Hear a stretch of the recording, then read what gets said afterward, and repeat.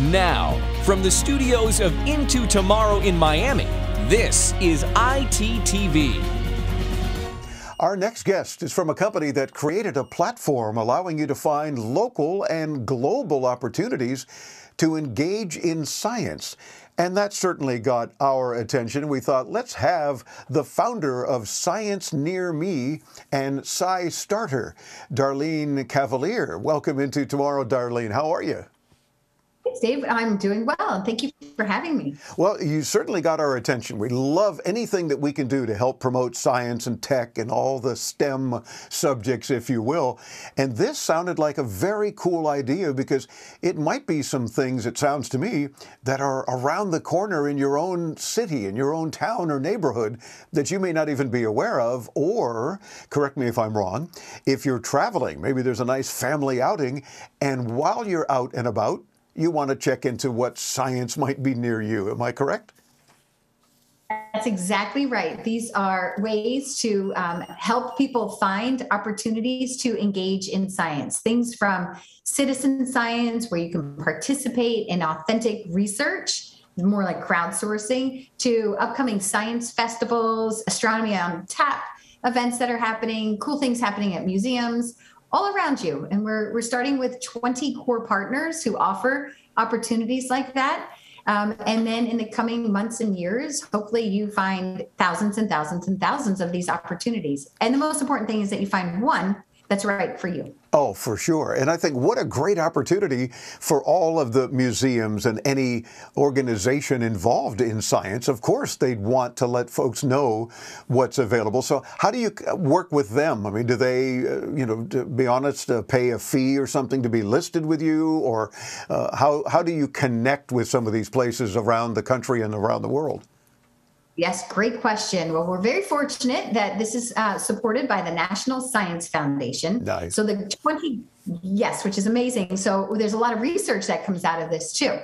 So we work with 20 core partners, and a lot of our work in the past two years has been on the back end, the technical side of setting up connections to museums and festivals and citizen science and all other ways of engaging in science and looking for ways that as they add their opportunities to wherever they're already adding them, usually it's maybe a museum's website, for example, that Science Near Me is able to easily scan and pull in from those websites. And what this does is it sets up a sustainable model that the museum doesn't have to keep adding all of their events and programs to multiple sites. So as things are updated in the source, it too is updated in Science Near Me. And so we thought this is probably the best way to go about creating a very open, uh, very uh, transparent, and uh, super scalable and sustainable way to keep Science Near Me alive and bring these opportunities that are local that are up to date and active to millions of people.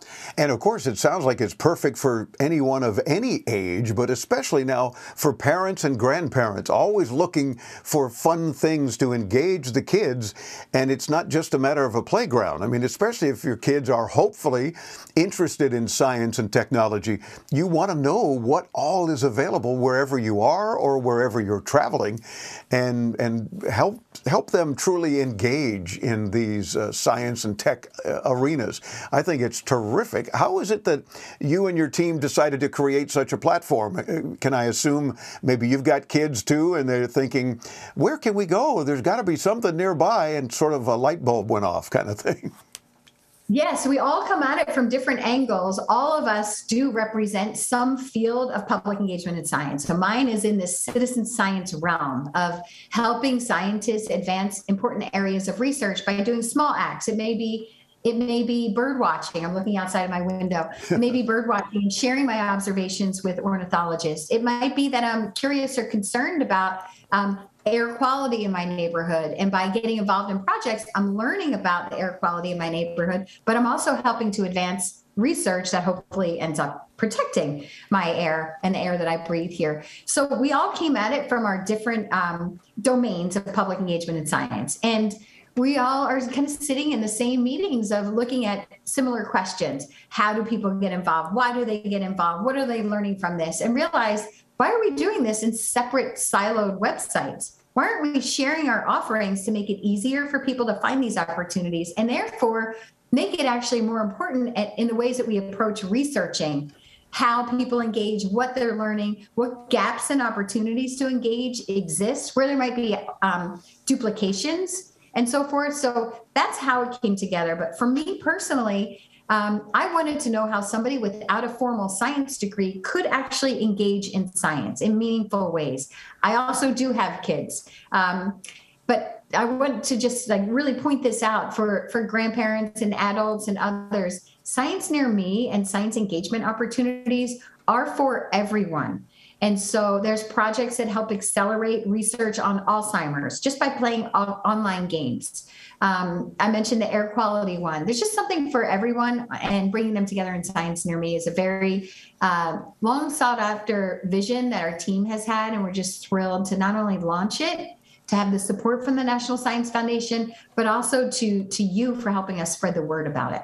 Oh, and it's our pleasure. And I think your very easy to remember website of sciencenearme.org.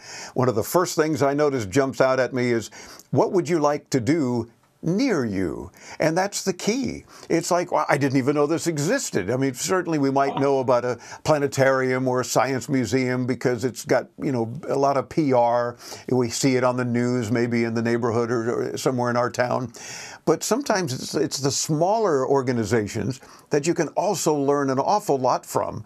And since it sounds like it's not just for kids and students, they probably benefit the most from it, but it's for anyone who just is curious about what's going on.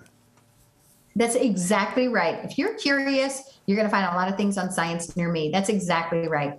And, um, and, love, and concerned, you know, concerned about some issues, and you might want to get involved in being part of the solution through science. You're going to find something on Science Near Me. Terrific. I, I like how right away you can do search for what and near what distance, you know, drop down menu 25 miles or farther, whatever, uh, and what dates you're interested in too, because that makes a difference if you're going to be traveling. And then you list what science is available near you. I think that's, that's terrific. Uh, what do you hope to accomplish in the long run uh, through this particular resource? I think it's terrific, and clearly people can learn an awful lot. I think the more that we can make it obvious and apparent to people that these are, are, opportunities that not only just invite the public to get involved, but that actually benefit from and sometimes can only happen with participation from the public. So as I mentioned, you know, my expertise is in citizen science. When you have a scientist who is looking for somebody perhaps in Philadelphia to share data, because that scientist and their team can't get there to observe something like uh, dragonfly swarms or or other neat natural phenomena that's happening. People are actually needed to be part of those projects. It can't happen without their help. Uh, and so fostering these connections with more and more people can change the mindset. For me, as I mentioned, how can somebody without a formal science degree get involved in science? I have never heard of these opportunities before.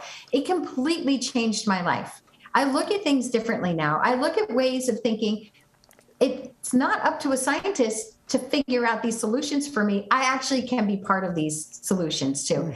And so it's changed what I read, it's changed how I explore things. You kind of start thinking more critically like a scientist. So, one, just bringing these opportunities to people more and more and letting them know it's not just for kids. It doesn't matter if you went to college, it certainly doesn't matter if you have a science degree. All of these things are open and available to you and also, you know, the National Science Foundation is funded through your tax dollars. So you also have a right to be part of all of these opportunities that we're sharing with you. Third, it's to make um, the people who are producing these events and programs and so forth. We hope that Science Near Me alleviates some of the, the financial pressure of trying to market and recruit people because that's a that's a serious um, constraint so we hope that this benefits them by just like bringing these opportunities to more people. And four, and this is a really important one, this is de- designed to expand and catalyze new forms of research that we hadn't been able to do before because all of these websites were not connected. So we miss really good opportunities to understand how somebody who just gets involved in a science festival moves on to do deeper forms of engagement and does this change their pathway like it's changed mine.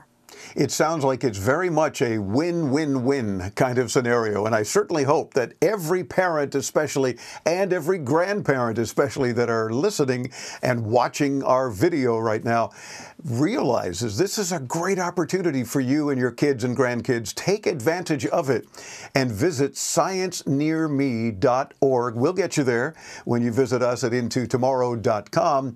And Darlene, one of the quick things that, that I mentioned in your intro is that you're the founder of Science Near Me and SciStarter. Real quick, what is Sci SciStarter?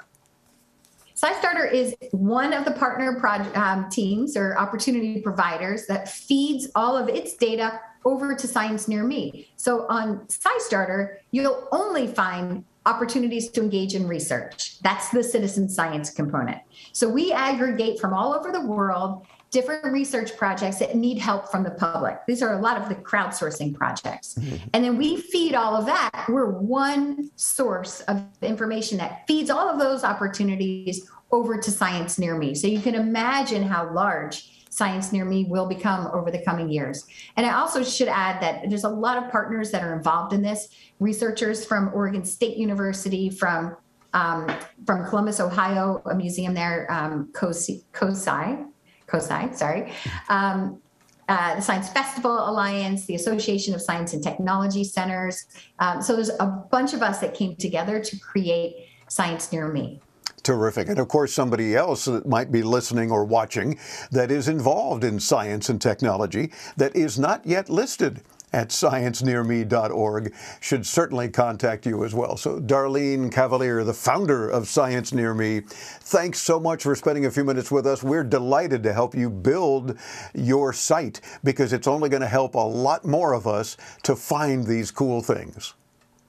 Thank you. And thank you so much for having us and shining a light on our work. You. It's our pleasure. Keep up the great work. ScienceNearMe.org, and you'll see what Darlene and her team are up to as they continue to grow dramatically. And we look forward to that as they grow further into tomorrow.